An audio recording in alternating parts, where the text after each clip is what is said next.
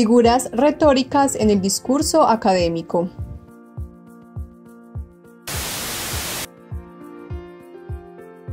Hola, un gusto saludarte.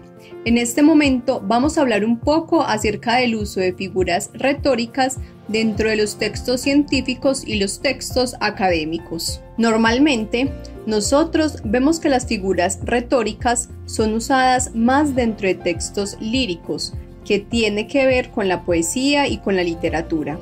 Sin embargo, la ciencia también se vale de este tipo de figuras para hacer explicaciones mucho más claras, que sean cercanas a las personas y que pueden mediante algunas relaciones entender lo que está queriendo decir un científico o un académico.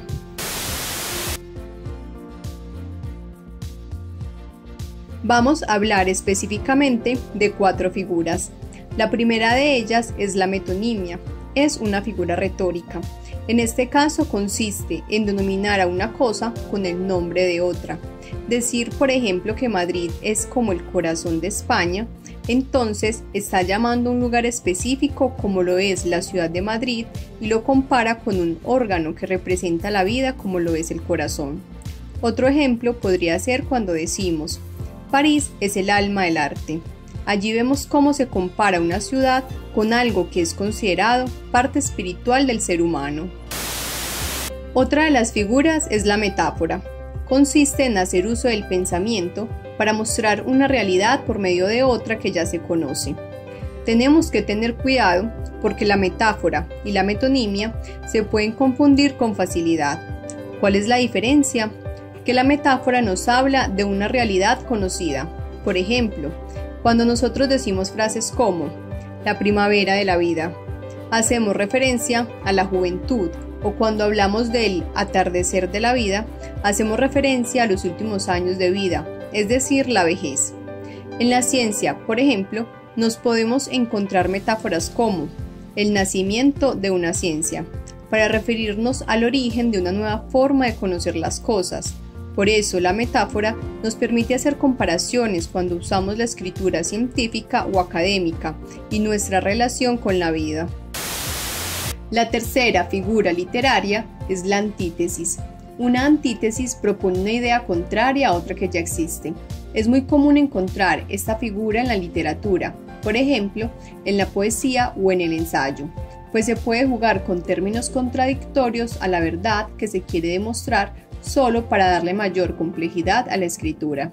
Por ejemplo, y deseo seguir viviendo aún en la muerte. Esta expresión demuestra intención de vivir hasta el final, aunque sepamos que la muerte es el final de la vida. En el campo académico, la antítesis es menos usada que en la literatura, pero su uso, aunque poco, es posible hallarlo, sobre todo cuando se escriben las conclusiones o discusiones de una investigación. Finalmente, la figura retórica del símil sirve mejor para hacer una ejemplificación. Siempre en el símil usamos la palabra como. Nosotros no lo encontramos en la literatura cuando se hacen comparaciones, por ejemplo, cuando se dice que una persona es tan bella como el amanecer o tan bella como una rosa.